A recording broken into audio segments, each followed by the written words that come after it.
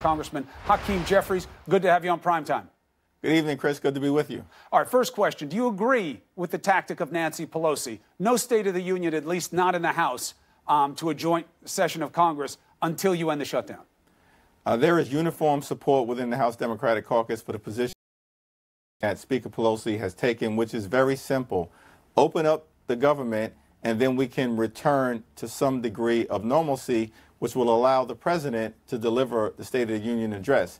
But given the fact that you have Coast Guard uh, folks who are working without pay, you have Border Patrol agents working without pay, uh, TSA agents working without pay, the FBI working without pay, air traffic controllers working without pay, uh, more than 800,000 Americans in total either furloughed or working without pay, the economy increasingly being damaged adversely. Now was not the time for the president to trot himself up to Capitol Hill and act like everything is normal when Americans are suffering as a result of the reckless Trump shutdown. All right, so let's flip the scenario for a second. And what can you say to guarantee the president that you guys would make a deal that includes substantial funding for physical barriers along the border? I'm not going to play the word game about it. The president created that. I don't perpetuate it.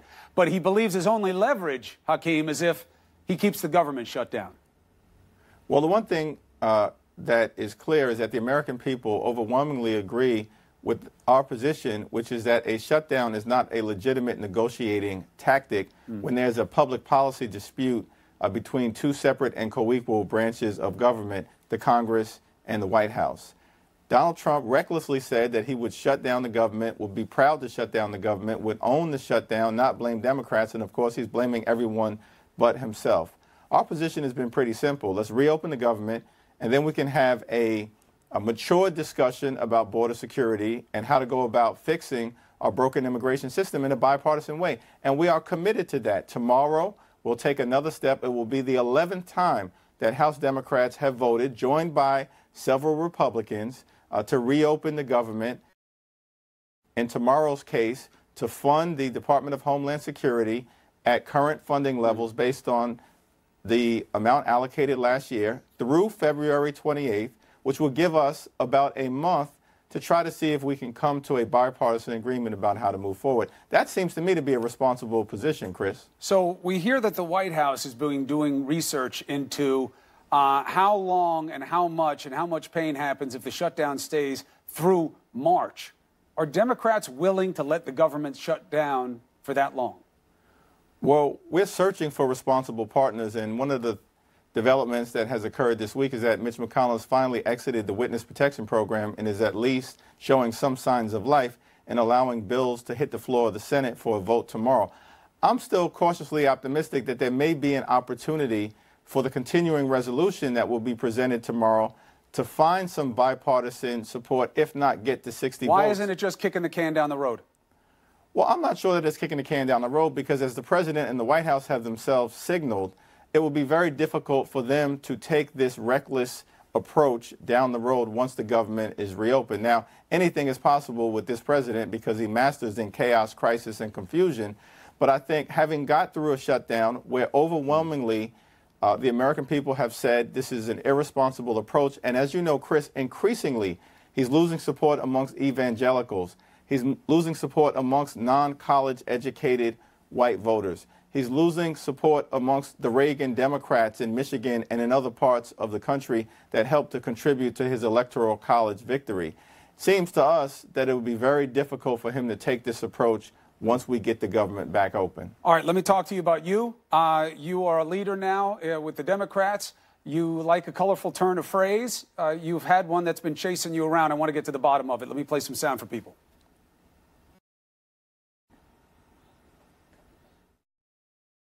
Have a hater in the White House, the birther in chief, uh, the grand wizard of 1600 Pennsylvania Avenue. Wolf Blitzer in the past has asked me whether I believe the president is a racist, and I've consistently said no. I did use a colorful phrase, but of course I don't believe that the president is a card carrying member of the KKK. What were you going for by calling him the Grand Wizard? Well, let me again stipulate to the fact that I do not believe that Donald Trump is a card carrying member of the KKK. However, he does have a long and inappropriate and invidious history of racially inflammatory behavior. In the 1970s, Right. he uh, presided over the Trump organization that was sued by the Nixon Justice Department for racial discrimination against 1000s of black and Latino housing applicants. In the 1980s, he led the lynch mob that went after the Central Park Five, black mm-hmm. and Latino young men wrongfully accused, wrongfully convicted, wrongfully imprisoned for a crime they did not commit. For five years, Donald Trump perpetrated the racist lie that Barack Obama was mm-hmm. not born in the United States of America mm-hmm. to, to delegitimize the first black president in the United States of America. And then he became president. And in the aftermath of Charlottesville, which was a race riot led by neo Nazis uh, and neo uh, uh, neo Nazis as well as uh, white supremacists, indicated that there were fine people on both sides. On and on and on. The S whole country—a comment directed at Oh, I African get nations. Hakeem, I And get so- the list. I've so had the to live it in real so the time. question really, the I'm not really- chasing after you to get you to say, I'm sorry I said it. I know that's what's been going on in the media. I've been watching it here and elsewhere. I'm not doing that. I'm saying, given what you just laid out, why don't you just own it and say, yeah, I said it. I don't think he's a card carrying member of the KKK. When you look like me and have my experience and you know my constituents, you know why I say it, and I'm not backing off it. Why back off at all? Uh, well, I think I've been very clear that I have no regrets about making the analogy that I made because I think that we need to be able to have a candid discussion about race, at least on Martin Luther King Day. And sometimes that discussion will be uncomfortable. But I also understand that many people throughout this country are of the view uh, that we should give the president the benefit of the doubt, any president, including this one.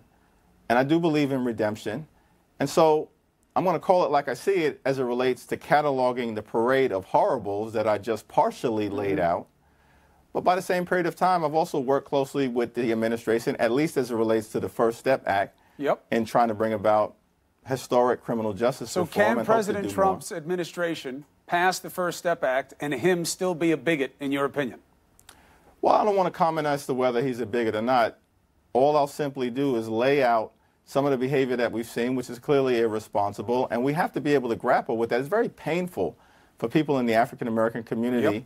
communities of color, uh, and people of goodwill, Americans of every race, to have to deal with a president that at times appears to peddle uh, and fan in the flames of hatred as well as xenophobia, Yep. including in connection with this issue that we're having right now related to the shutdown, that's a very painful thing for a lot of communities. By the same token, I believe uh, in the magic of America and the ability of people to come together and diversity being our greatest strength, uh, which is why we just want to, as House Democrats, to get beyond this shutdown fight that we're in so we can focus on the types of things like protecting people with pre-existing conditions, a real bipartisan infrastructure plan, cleaning up the mess in Washington, and we're hopeful that we will find on the other side of the aisle, including with the administration.